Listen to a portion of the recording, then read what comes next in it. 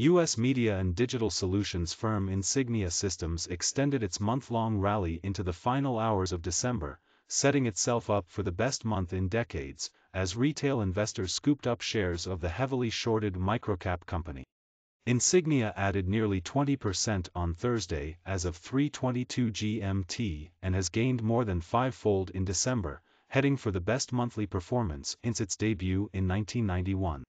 The company has surged 130% so far this week, but the jump still pales in comparison to a 319% weekly rise in early December when it said it was exploring strategic options.